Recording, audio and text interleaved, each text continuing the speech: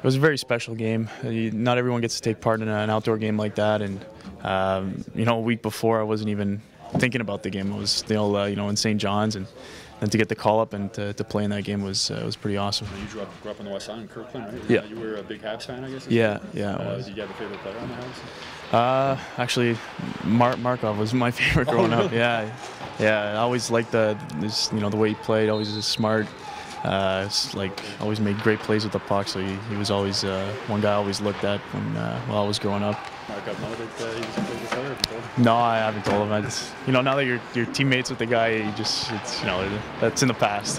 Has he uh, has he helped you, or how how are the veteran guys? Some of the guys who let you adjust the room. I mean, I know you're a veteran NHL player, but just getting used to a new environment. Yeah, the the guys are really welcoming, and uh, you know, before signing here, I, I heard that the room was a really tight room, and guys were really uh, close. And uh, as soon as I got called up, uh, I saw that. Well, I saw it in training camp, and even this week, I've noticed that it's a very close group and uh, very welcoming group. So it's very nice to be a part of. I know there's been so many guys called up from St. John's, and it seems like with this team, if you play well down there, you're going to get a chance, no matter whether you were drafted, undrafted, whatever. Is that a message that sort of got through in the room there? Yeah, yeah, for sure. The uh, you know, the like you said, if, if you're playing well and you, you deserve a call up, they'll they'll give it to you, and uh, and it's nice because they got guys like uh, Rob Ramage and Martin Lapointe that come down uh, pretty often and uh, you know talk to you. So it's nice that you get that feedback from uh, from the development coaches. Okay, Sven Andrighetto mentioned earlier that you were one of the leaders down there that he, sort of looked up to. Is that part of the when you were signed with the Canadiens? Is that something that they spoke to you about?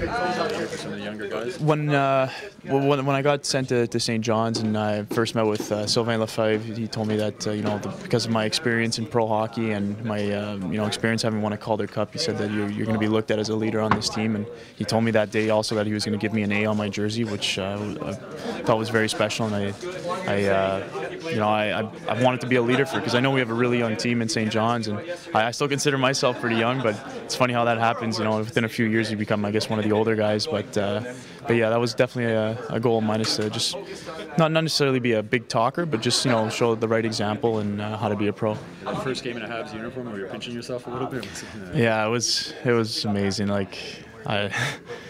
It's hard to describe. It was it was just so cool, and I'm thinking about like you know my, my family too. How, how, how proud I know they, they were that uh, they got to see you know one of their family members or their son play play for the Canadiens. It,